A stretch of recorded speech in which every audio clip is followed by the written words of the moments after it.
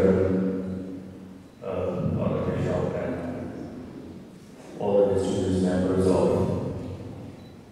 SD family, distinguished dignitaries and friends. I join all of you in the death of their son the soil,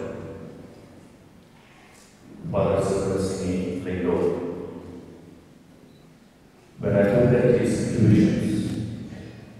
that throughout his longings of committed life of people, particularly for the people belonging to the Sikh community, it only reminds me of one thing,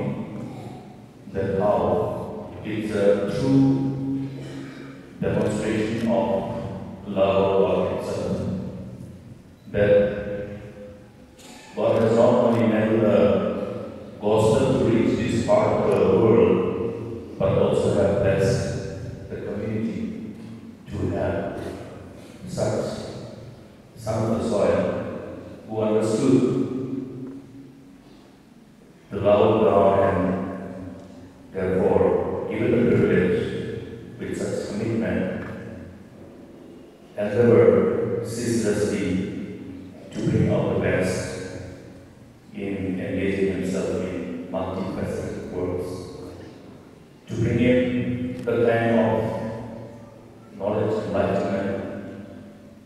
and true knowledge, enlightenment, righteousness, and prosperity to our beloved people. It only reminds me of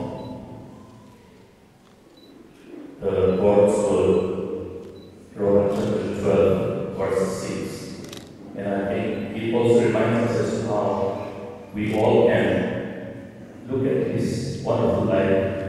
and the service to mankind as has been asked for from him by God. How we can answer. Look at what each one of us can actually contribute for the upliftment of our people to enhance the knowledge and enlightenment of each one of us,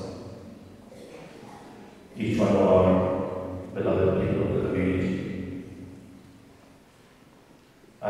Will always be blessed with many more sons of soil because I have no doubt that when God has been so kindly blessed us with such wonderful souls, He will continue to bless us. And I join all of you in calling His demise. He has left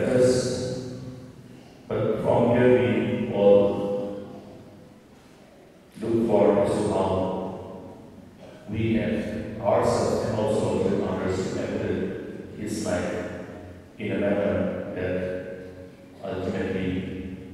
enable us to take care of our community, take care of our people, and reach our people with knowledge, enlightenment, and further depend our faith, further depend our understanding of our law, and thereby enable us to lead the way God wants. May His soul rest in peace. I pray to the